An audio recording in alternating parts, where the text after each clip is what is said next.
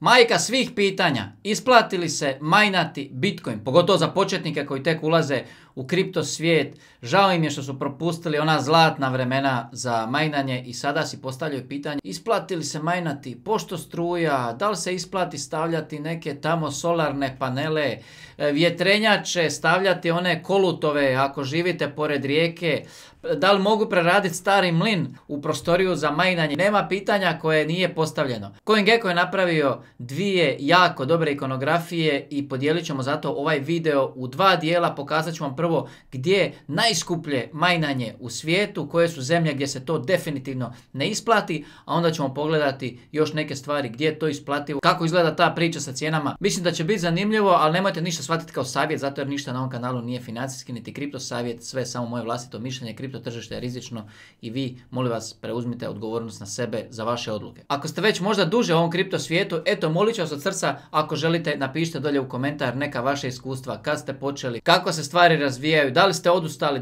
da li još uvijek majnate, šta ja znam, eto, čisto me zanima neko vaše mišljenje o ovoj temi, a mi idemo pogledati gdje se majnanje definitivno ne isplati. CoinGecko je objavio top 10 najskupljih zemalja za majnanje Bitcoina. Talijani drže prvo mjesto da bi izmajnali u Italiji jedan jedini Bitcoin treba će vam struje potrošiti 208 tisuća dolara. Druga je Austrija, onda Belgija, Danska, to su sve zemlje u kojima, u kojima vam je potrebno potrošiti struje preko 100 tisuća dolara da izmajnate jedan Bitcoin. Međutim, postoje zemlje u kojima je majnanje Bitcoina isplativo i CoinGecko se potrudio baš da nam to prikaže na jednoj ovakvoj karti da možemo vidjeti i zaista ono, kad pogledate ima zaista zemalja u kojima su cijene struje šokantno niske. Oči mi bode recimo ovaj Iran, 530 dolara struje u Iranu potrošite za majnanje Bitcoina, recimo čak je i Kazahstan povoljan 12.900, recimo pogledajte ove vamo zemlje, Bangladeš 13.000 dolara vas košta, Brazil je čak skup 45.000,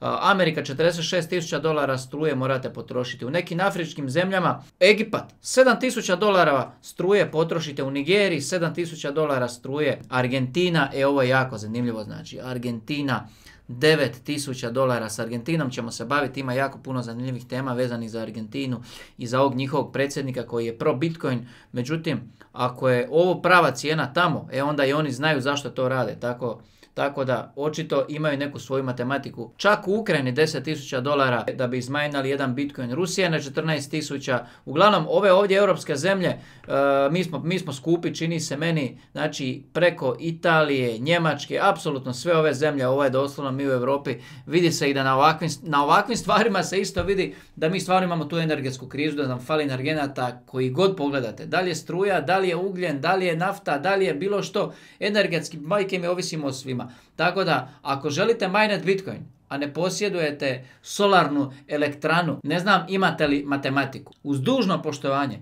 prema svim minerima koji nas okružuju, prema svima vama koji se bavite sa svim tim prije nego što smo mi i kod nas i bili u Bitcoinu uz dužno poštovanje i respekt za sve one koji su stvarali ovu scenu i spajali nekada davno svoje prve majnere. Eto, volio bi znati među vama tu, postoje li među vama majnera, postoje li među vama onih koji i danas po svim ovim cijenama majnate i ljudi moji isplatili se išta danas majnate. Kakva vam je matematika? Ok, neki majnaju, neki ne majnaju, neki kupuju Bitcoin, ali postoje i oni koji ne kupuju Bitcoin. A ovdje možete pogledati koja su najčešća tri razloga zašto ljudi ne žele u današnje vrijeme investirati novac u Bitcoin.